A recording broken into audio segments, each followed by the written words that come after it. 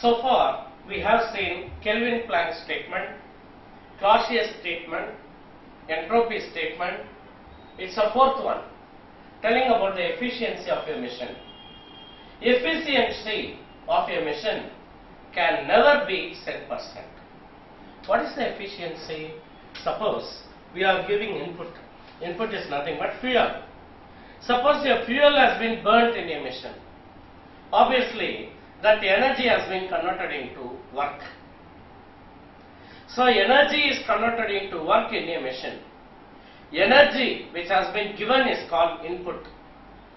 Work which has been obtained is called output. Understood the idea of input and output? What is input? The energy given. What is output? The work has been taken from the machine. So, the output and input, the percentage efficiency. Always the efficiency has been represented in percentage. That is output by input into 100. The percentage efficiency has been represented as output by input into 100. What they are telling is, it cannot be 10%. Always, when shall it be 10%?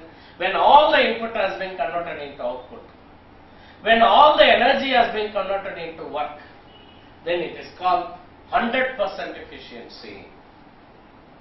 You can't find, impossible, you can't find any of the machine which converts all the input into the output. This is the next statement. That is, efficiency cannot be 10%. The efficiency can also be written like this. T1 minus T2 by T1 into 100. Where uh, T1 is the initial temperature of an heat engine. T2 is the final temperature of an heat engine. According to second law of thermodynamics, shall we simplify like this?